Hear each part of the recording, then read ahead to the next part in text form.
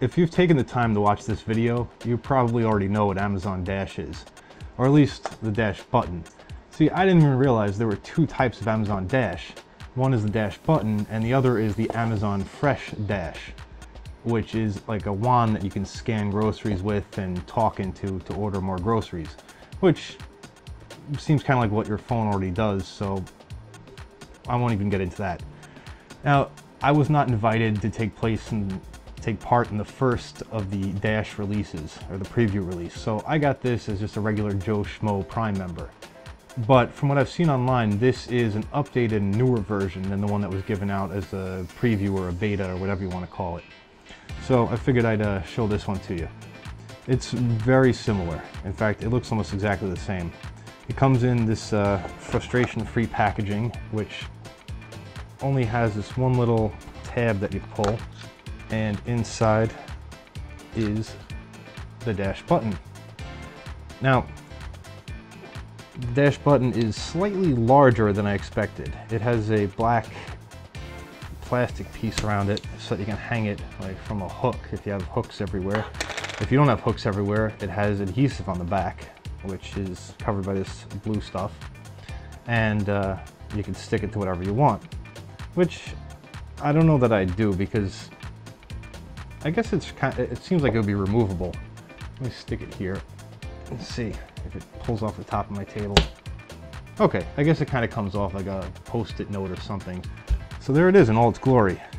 It's got an entirety of three features. It has a microphone here, which incidentally is not for you to talk into, a little LED right here, and of course the dash button itself. And otherwise, the packaging has an instruction manual and not much else. And the instructions are pretty simple.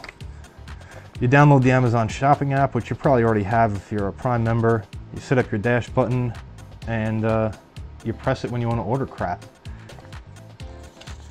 I mean, they made it really simple to use, obviously. You press the button once and whatever this is associated with gets ordered to your house or place of business or wherever you want it to. Um, not really revolutionary and people made fun of it a lot. I mean, I asked some of my friends about this device if they wanted to get one, what they thought of it, and everyone universally thought it was pretty stupid. And so did I at first. Because, I mean, how lazy do you have to be, I thought, to need a button next to each one of your household items in order to order it? Like, I mean, can't you just go on Amazon's app on your phone or on your computer and just order it from them directly? Then I thought about it, and I realized that usually when you're running low on something, you're in the middle of something. Like this is for toilet paper. So when I realize I'm running low on toilet paper, I'm not exactly in the position to like take out a shopping list and write down buy toilet paper and then put it somewhere where I'll remember to look at it. So, you know, if I could order more toilet paper just by pressing a tiny little button that's attached to uh, my sink or inside my cabinet, then that's actually not so bad. Apparently these were 99 cents, I think, when they were doing the preview, or they're free. Now they're five bucks. And five bucks is a lot for a button that does just one thing. But it's not a lot for a Wi-Fi connected device, so mm, it's kind of a contradiction there. So it's not as stupid as it first seemed. But there are a few problems with it. First of all, each button orders one thing, and not just one brand of thing. This is branded Cottonelle, but you can only associate this to one particular item in the Amazon app. So every time you press this, you get whatever, 36 pack of toilet paper. You can't choose that, oh, I need uh, Cottonelle wipes as well, or baby wipes, or something else. For each one of those things, you need another button. And then of course I also have one here for Bounty. So if I want paper towels, I gotta have another paper towel button. And so you end up needing buttons all over the place if you fully embrace this idea of having the Amazon Dash button. The other major problem that I see with it is that if you're frugal, and I'm not even terribly frugal, but I also don't want to spend whatever arbitrary price Amazon sets for paper towels or toilet paper, or anything else you can order with the button. See, like I said, you associate a specific item with the dash button when you set it up. and Amazon just sends it to you for whatever price it costs on Amazon at the time. And as I'm sure you know, prices fluctuate on Amazon quite frequently. So you have no idea what you'll be spending when you press this button. I mean, Amazon's price is usually good, so it probably won't be a complete ripoff, but you could probably go to the supermarket with a coupon and get it even cheaper. The other thing I don't like about it is that when I was a little kid, I would press every button I could find. I mean, I love electronics and I love little devices like this. Not that they had stuff like this when I was a kid, but believe me, if I were five years old, I'd run all over my parents' house, my aunt and uncle's house pressing these buttons.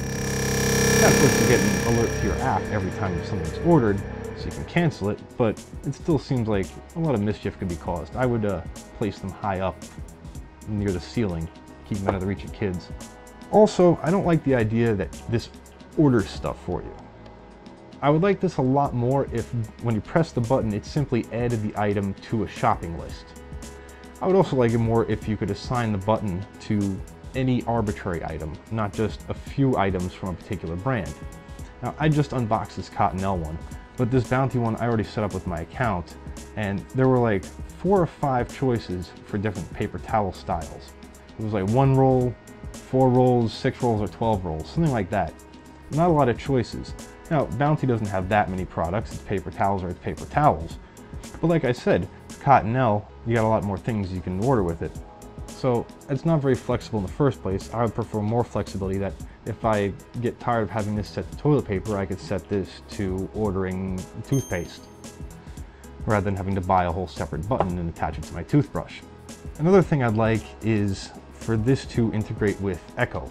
Now I have an Amazon Echo, granted not everyone does. It would be nice if when I press this button, not only did I get a confirmation by Amazon app, but if Alexa confirmed that I made an order verbally. Because when you're using one of these buttons, when you're grabbing some extra paper towel to go clean up a mess, you don't necessarily have your smartphone on you. And while it does glow green when an order is acknowledged, it would just be nice to know that the order went through correctly. Another solution that I'd like to see would be multi-button units. I mean, even if it costs a little more, but maybe like a slightly larger version of this with four buttons so that you could have one by, let's say, your washer and dryer to order laundry detergent, dryer sheets, fabric softener, and bleach, just for example. And these things do have batteries in them that eventually will die. And uh, then you have to go and replace all the sorts of buttons. I'd rather have one bigger unit with a replaceable battery. Now, not much else to say about this. Um, I have two of them. I paid $10 for these. I probably won't use them because, let's face it, this was five bucks. I'll probably save five bucks by ordering my toilet paper from, not ordering, going to the supermarket and buying my toilet paper with coupons for a smaller amount of money than whatever price Amazon would charge me. One thing I would like to do then is ruin this. There are a couple of teardowns of the dash button online, but like I said, I think this is an updated version of it, so it would just be interesting to see if the electronics inside are any different, or if they're using a different sort of battery. Um, just want to talk about a couple of differences between this and the original version that I've only seen online. This has a, an oval of adhesive rather than a complete uh, flat piece of adhesive. Also, the other ones I saw online came with uh, some kind of cellophane or plastic wrapping this inside the box. I guess they got rid of that because they realized it's kind of unimportant. I mean, how much protection do these things need? Um, also, I saw other people setting it up and to sync their phone or their Amazon account with the button, they use this microphone. Like I said, you can't talk into this microphone. Apparently, it's that your phone can emanate some sort of coded audio message and sync up with the dash. I think it just probably transmits your house's Wi-Fi password to the dash. When I did it, this acted as a Wi-Fi direct access point and my phone coupled with it over Wi-Fi and then set it up. That might be a difference between the Android and, uh, iOS apps. I'm not sure because I have Android and the demos I saw were iOS. So let's open this thing up.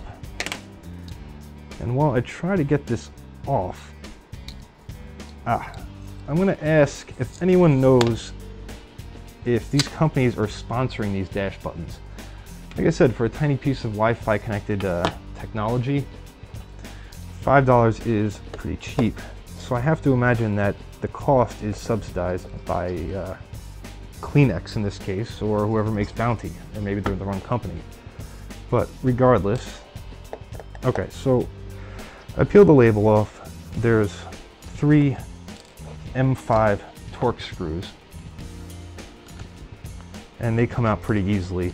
On another teardown online, I saw that's not the end of it. This probably won't just come apart. Apparently, it's probably friction welded on or glued onto the top. So, bear with me while I jam this screwdriver into it. Ugh. Yeah, it's on there pretty good. Ah,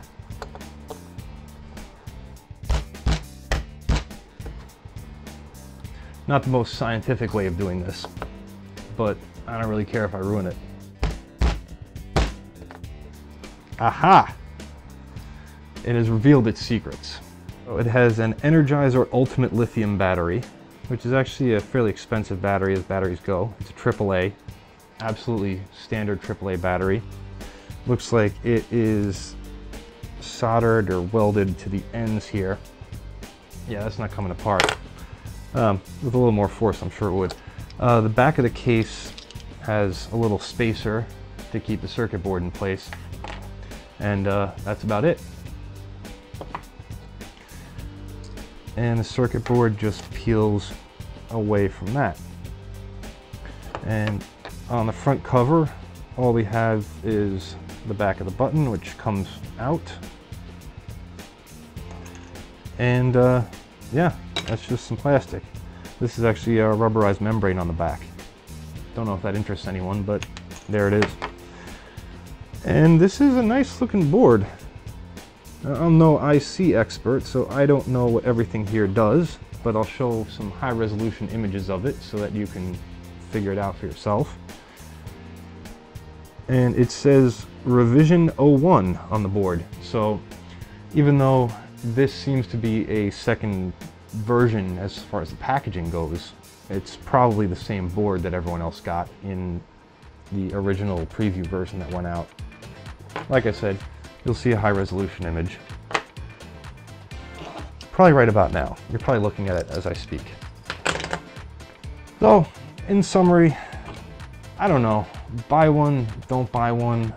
I guess spend the five bucks, whatever you use most often put this near that thing and see if you ever use it. If it's useful for you, if you end up using it, if you like Amazon's prices, then get more buttons, put them all over your house. What the hell do I care? But seriously, it's like I said, my main problem with this is being locked into one brand and one particular product.